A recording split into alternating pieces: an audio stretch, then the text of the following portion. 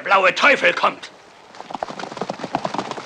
Abteilung, halt!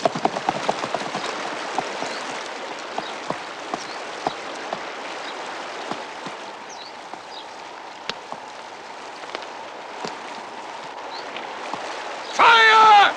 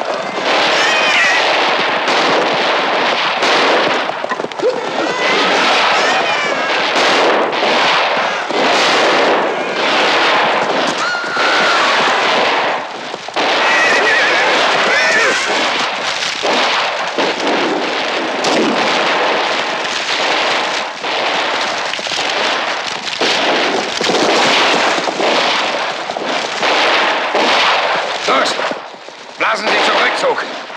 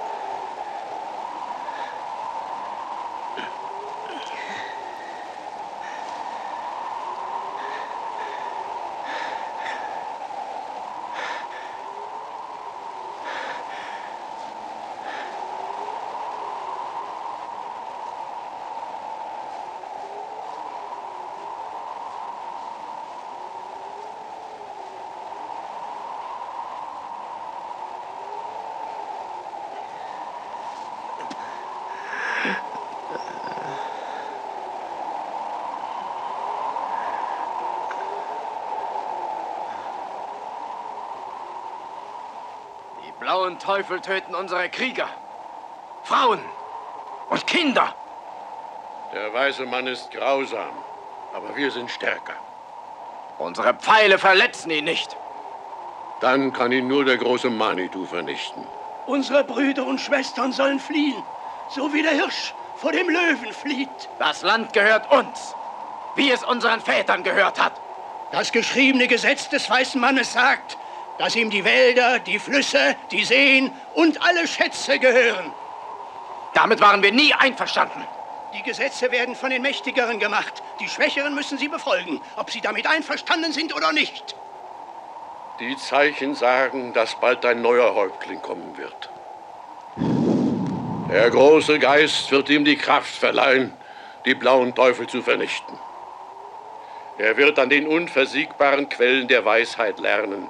Wenn die Zeit reif ist, wird er nach Norden reiten und die Häuptlinge aller freien Stämme werden seine Lehrer sein.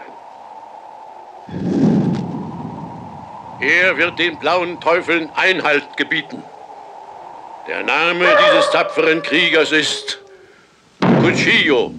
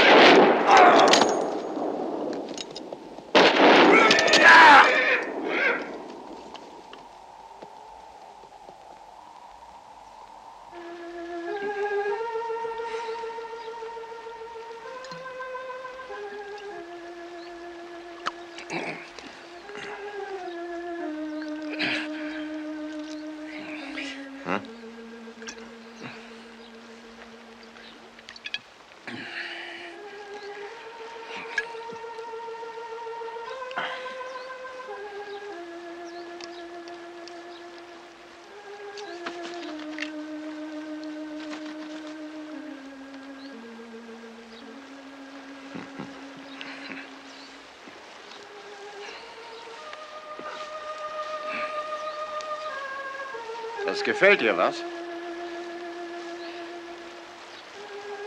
Soll ich dir zeigen, wie es geht?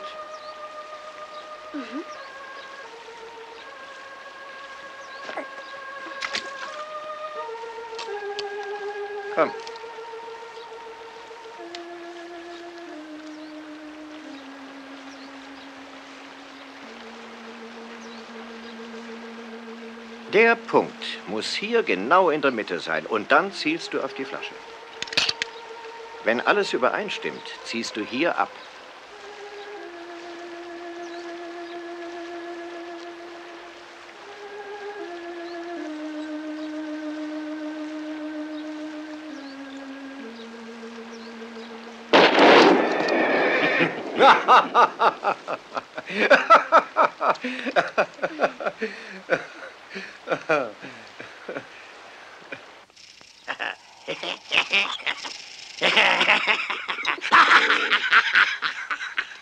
Ja, mit diesem Pflanzengift mir, Tiere zu lähmen.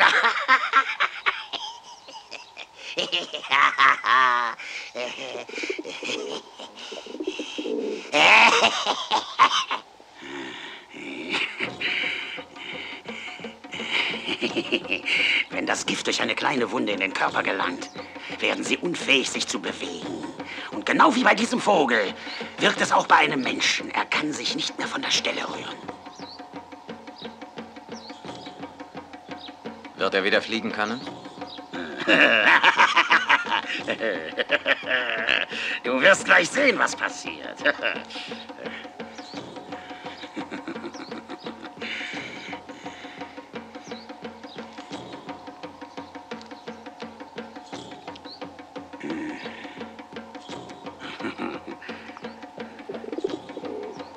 Er wird wieder fliegen. Und auch für dich wird es Zeit, dass du ausfliegst. Ich hatte viel Freude mit dir. Aber deine Lehrzeit ist nun beendet. Du musst jetzt zurück zu deinem Volk und sein Schicksal mit ihm teilen.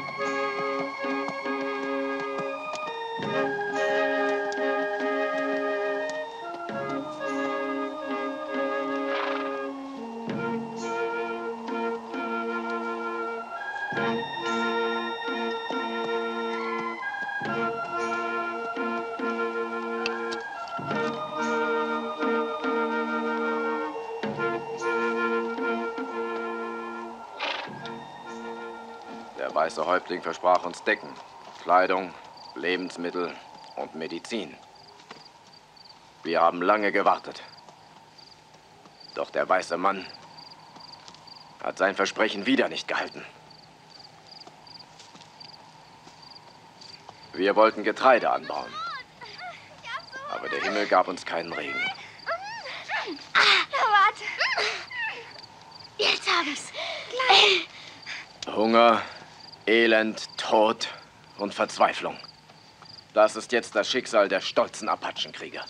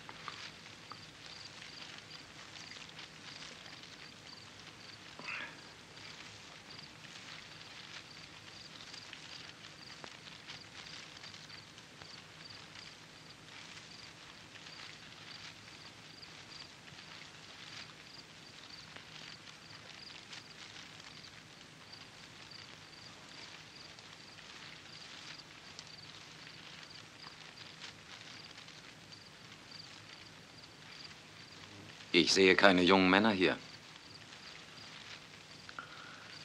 Sie hatten die Wahl, für die weißen Herren zu arbeiten oder in die Berge zu fliehen. Die weißen Teufel bestimmen jetzt, was hier geschieht.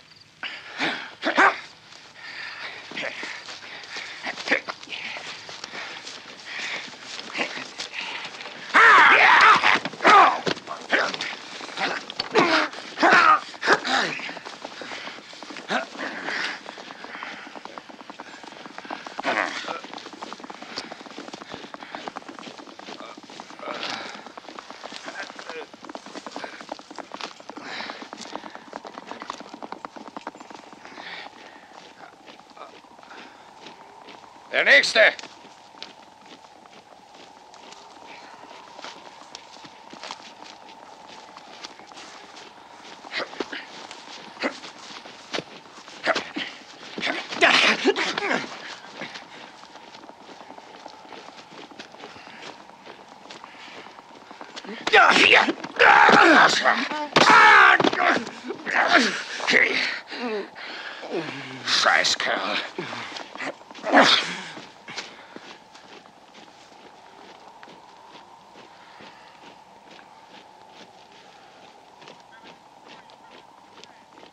Was willst du hier?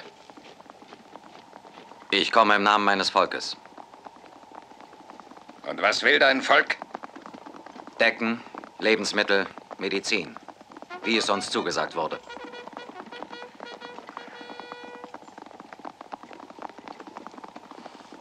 Lieutenant?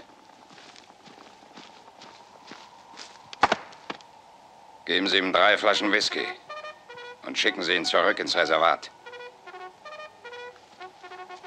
Der nächste.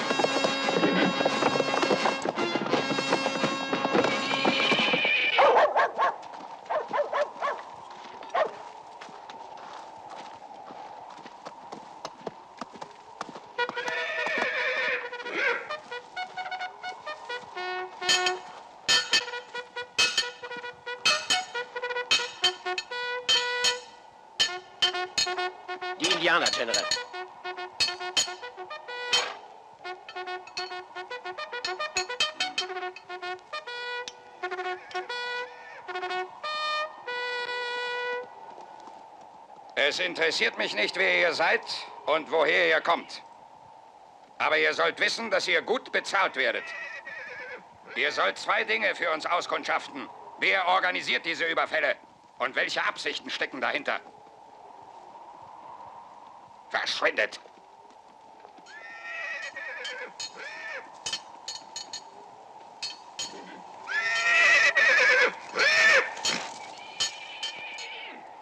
Muss die Indianer in den Reservaten unter Druck setzen.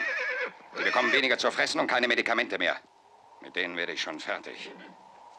Das ist alles, Lieutenant.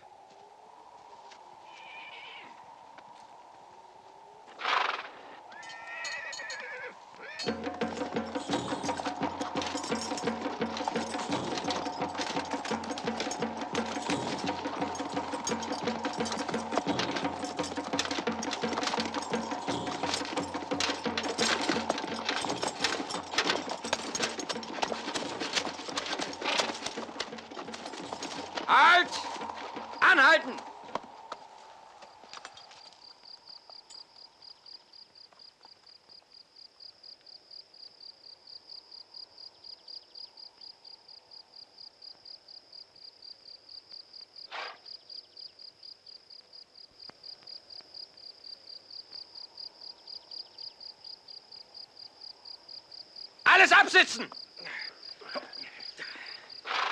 Die Wagen quer zum Weg stellen! Los! Robert, schneller! Absitzen!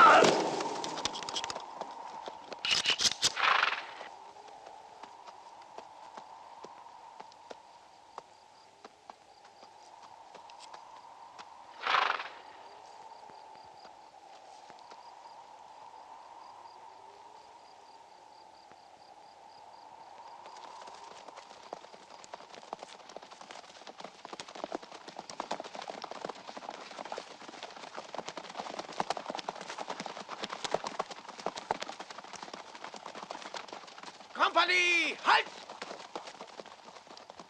Kein Erfolg, General.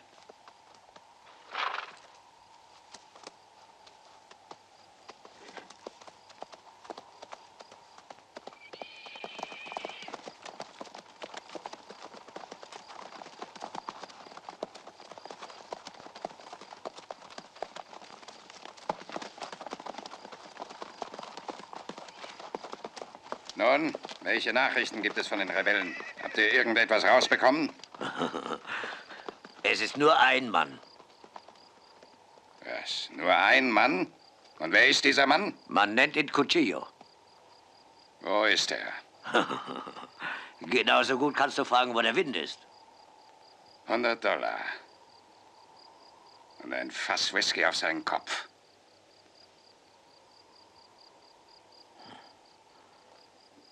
Mm-hmm.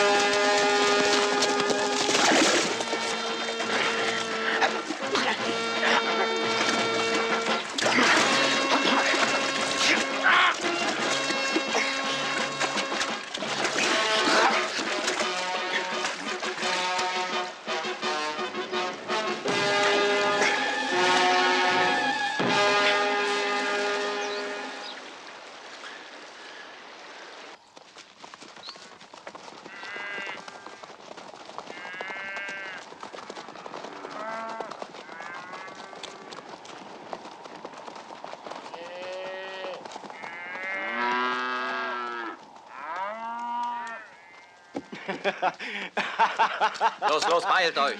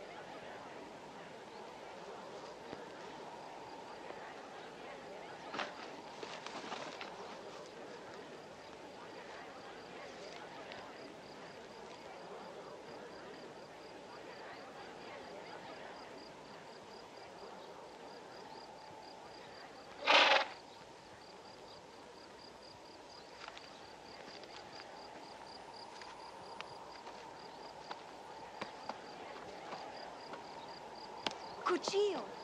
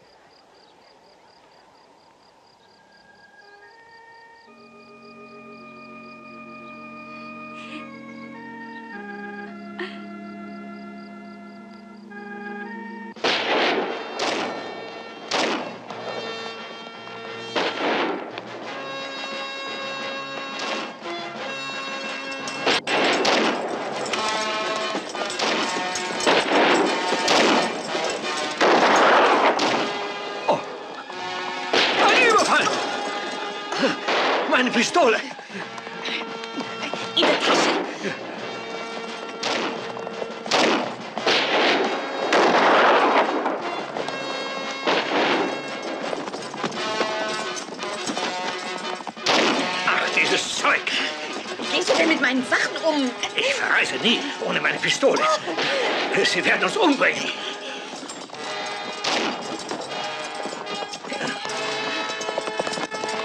Hier, da ist sie. Aber wo ist die Munition?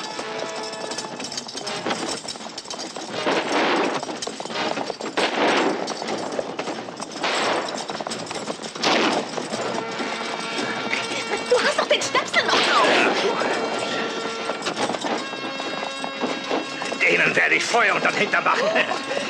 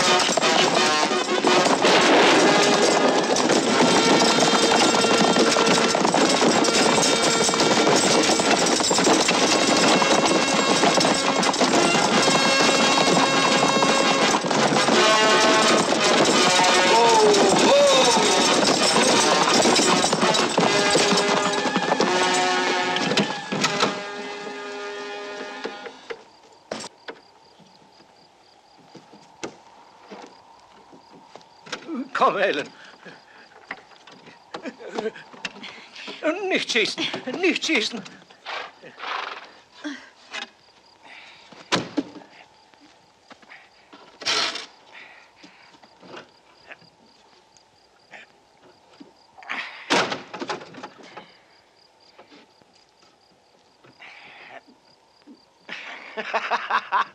oh, oh.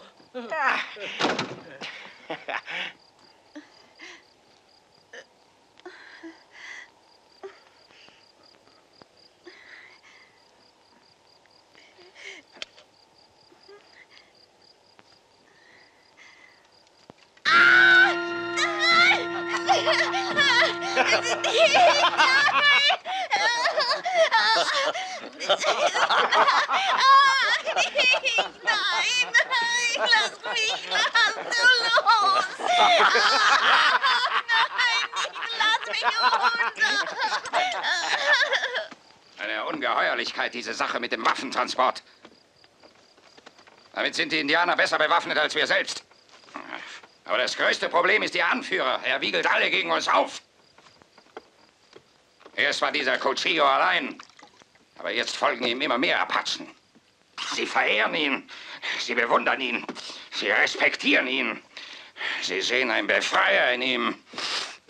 Dieser Spuk muss ein Ende haben, ist das klar? Zu Befehl, General. Was gibt's, Lieutenant? Da ist ein Indianer, der uns zu Cuchillo führen will. Können wir ihm trauen? Das ist eins von den neuen.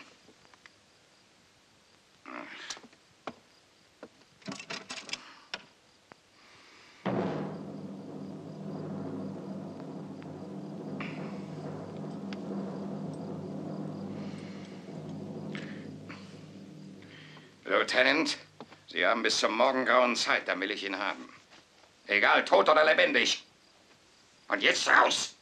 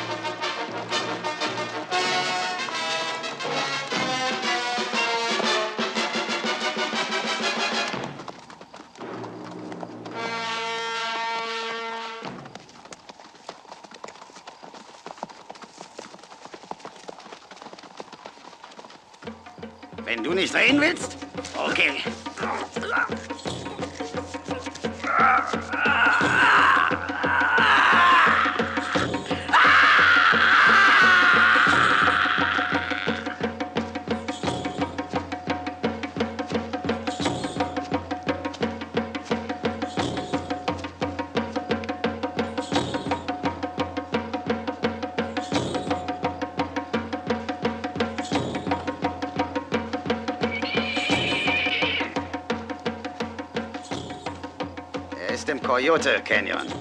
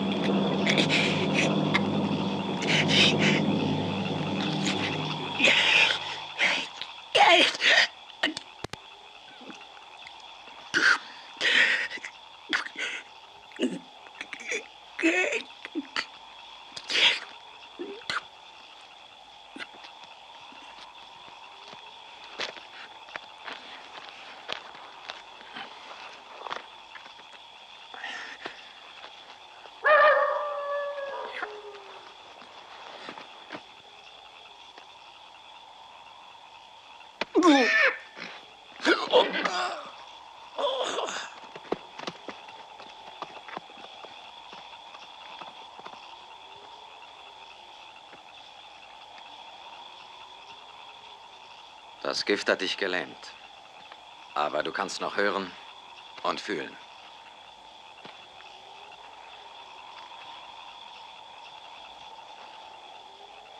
Du wirst sterben, wie es ein Verräter verdient hat. go.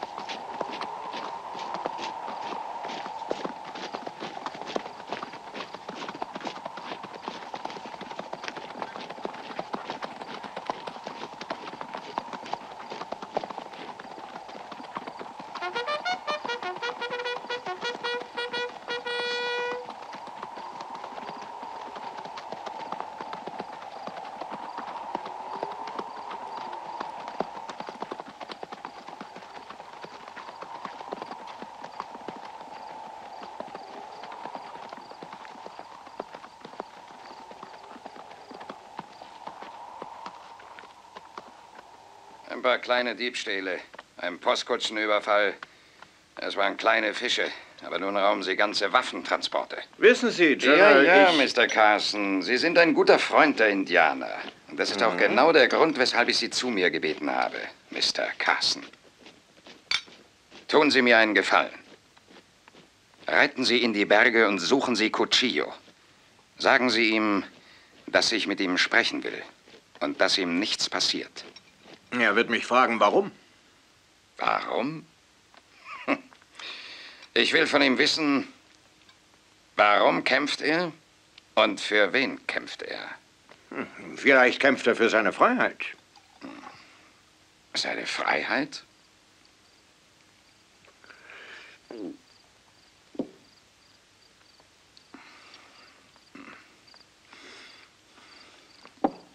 Mr. Carson, ist Ihnen eigentlich bekannt, dass Paragraph 14 unserer Verfassung allen Bürgern persönliche Freiheit garantiert? Und zwar allen, sogar den Negern. Es gibt nur eine Ausnahme, die Indianer. Und trotzdem, wenn Cuchillo die Waffen zurückbringt, die er gestohlen hat, werde ich sofort an alle Reservate die doppelte Menge an Lebensmittel ausliefern lassen.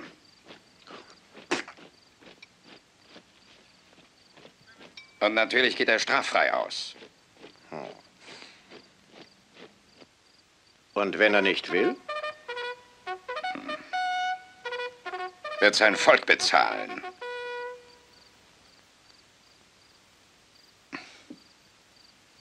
Er kann sich nicht weigern. Nein.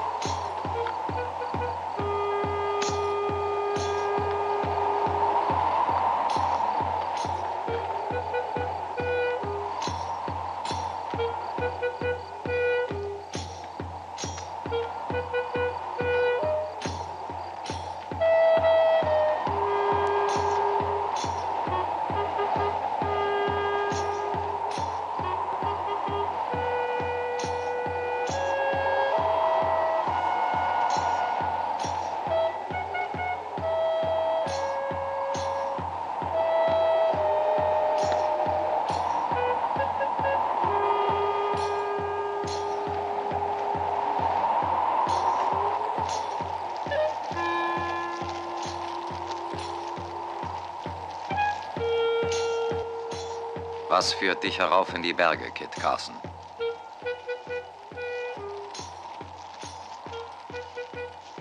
General Boyd will dich sprechen. Sofort. Was will der blaue Teufel? Er will, dass du die Gewehre zurückgibst. Dafür wird er von einer Bestrafung absehen.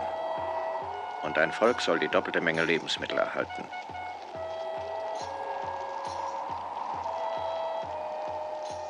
Kann ich ihm trauen? Nein.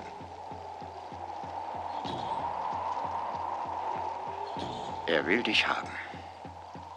Und um das zu erreichen, wird er von nichts zurückschrecken. Er wird alle Frauen und Kinder deines Stammes töten. Wie treffe ich ihn? Heute in zwei Tagen im Dorf des Todes.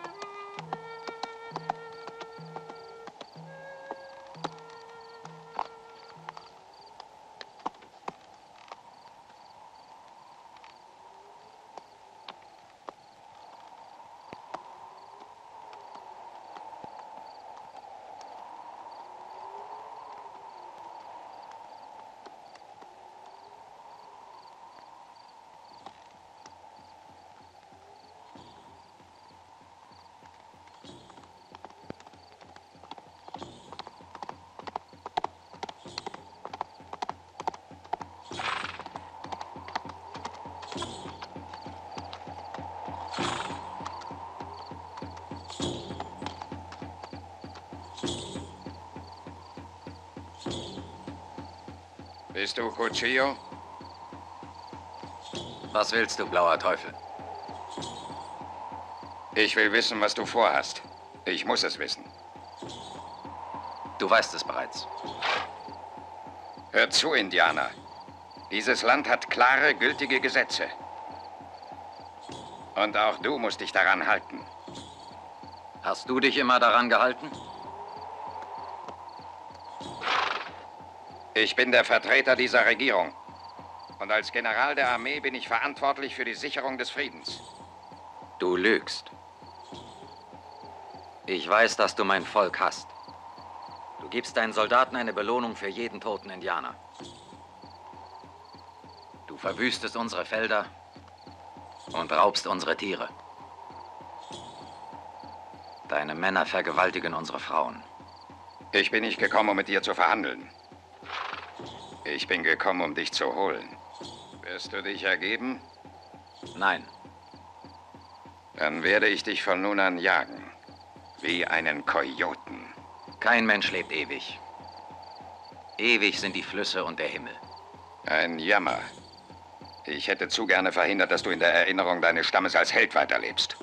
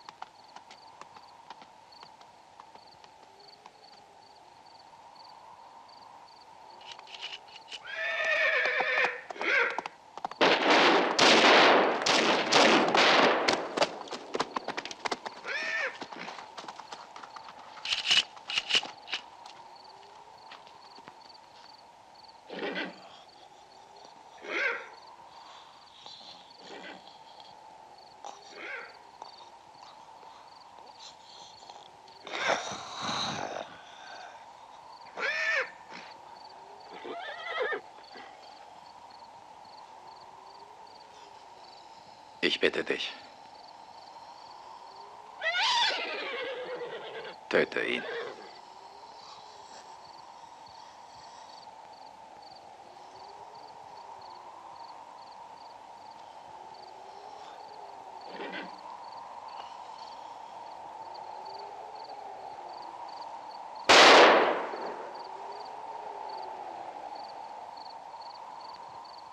Ich denke, es besteht keine Notwendigkeit, auf den Richter zu warten. In diesem eindeutigen Fall werden Sie das Kriegsgericht bilden, meine Herren. Ohne einen Verteidiger, General? Indianer haben keine bürgerlichen Rechte. Darum sehe ich keinen Grund, einen Verteidiger zu ernennen. Morgen Mittag 12 Uhr wird Cuchillo so lange am Hals aufgehängt, bis er tot ist. Das ist alles, meine Herren.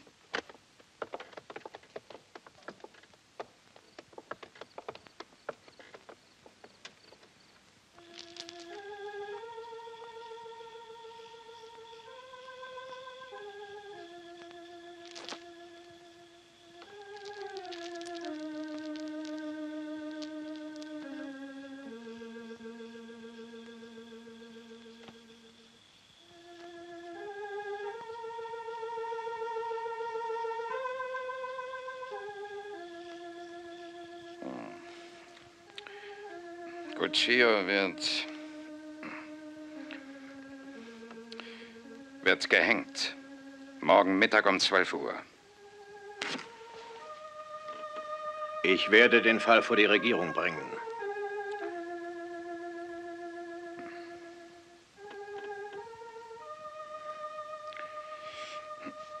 Carson.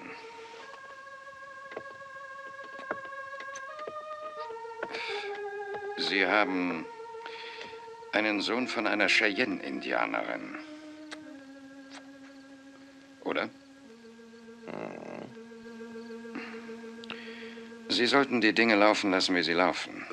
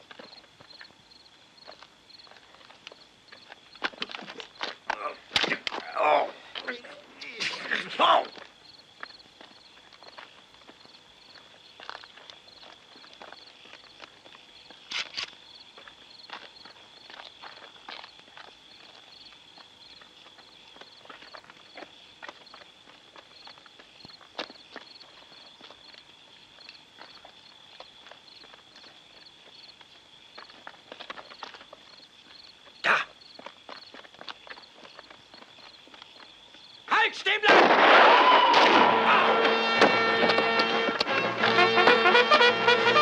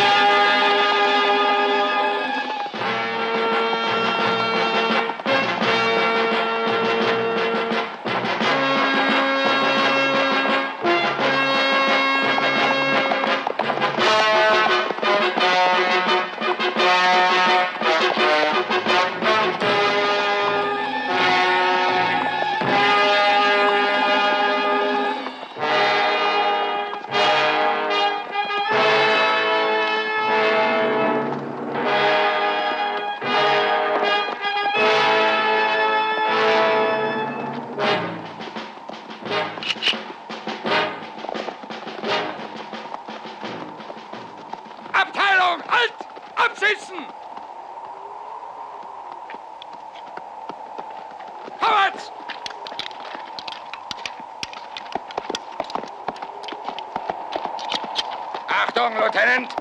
Vorwärts! Vorwärts, Männer! In einer Linie! Feuer! Feuer!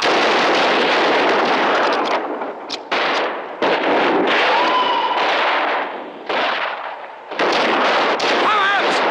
Aus, vorwärts!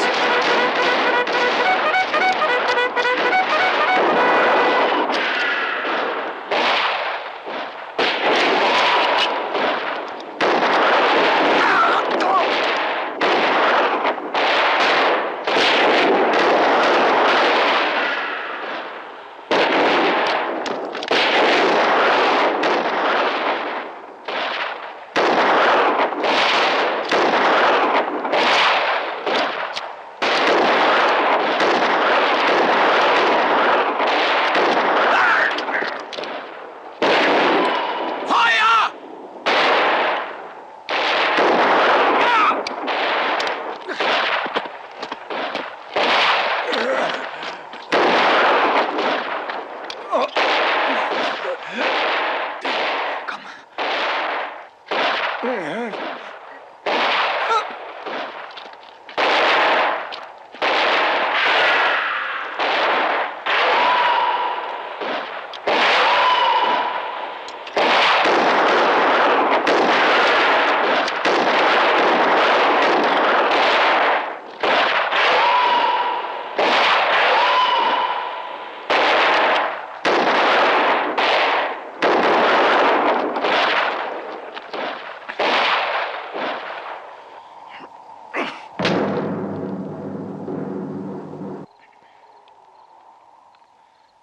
Wir ziehen zurück. Zurück!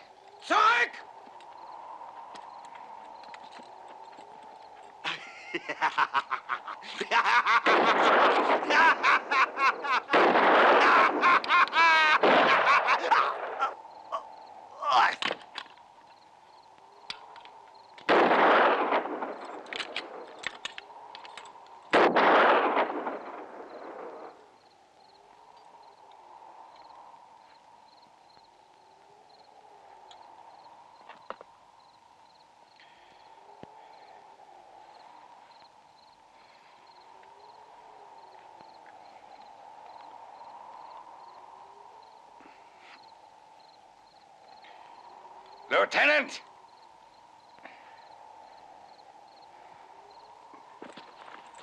General, Sie wählen Ihre beiden besten Schützen aus.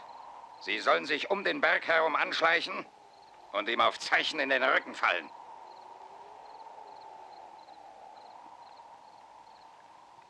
das dauert mindestens vier bis fünf Stunden. Und alles ohne jeden Feuerschutz. Ich befehle es Ihnen.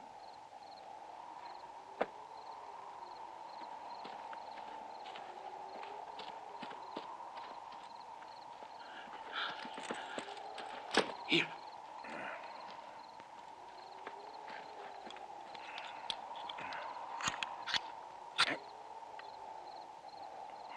Wir haben genügend Munition. Auch wenn noch mehr Soldaten kommen, können wir uns bis zur Nacht verteidigen. Sie kommen hier nicht rein. Aber wir auch nicht raus. In der Nacht werden wir über den Berg gehen.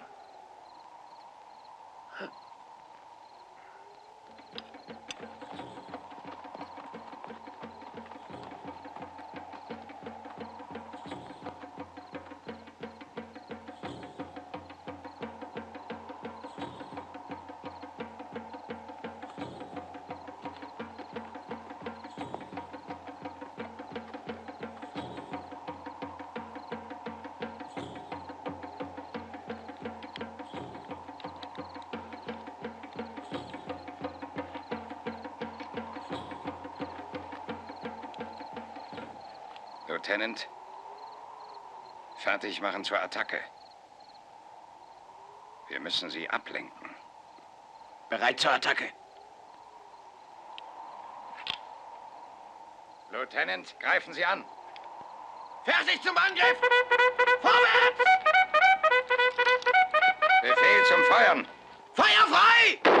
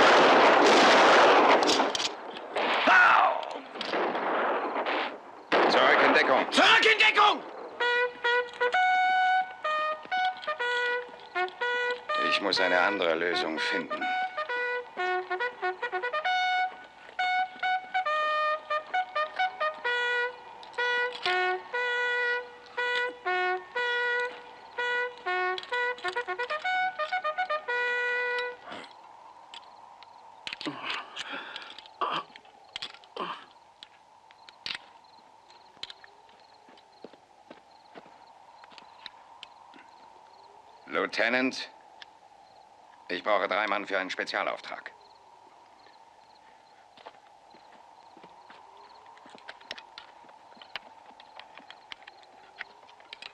Landis, Nelson und Jackson sollen sich bereithalten. Zu Befehl, Lieutenant.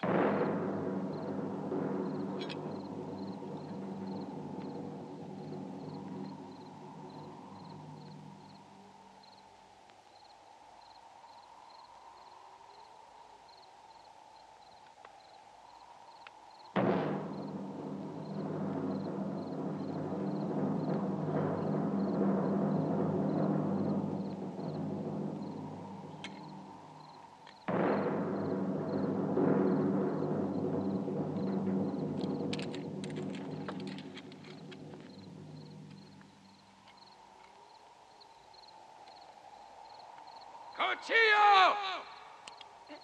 Ich habe deine Frau hier und die von Carson.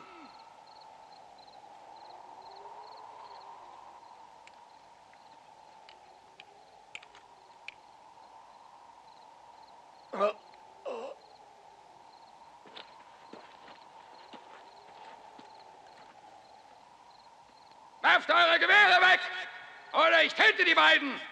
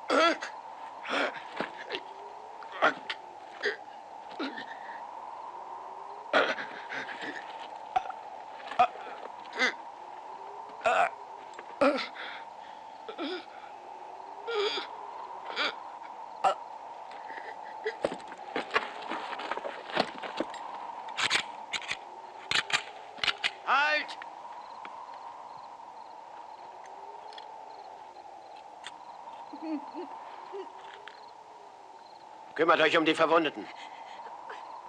Wir ziehen ab.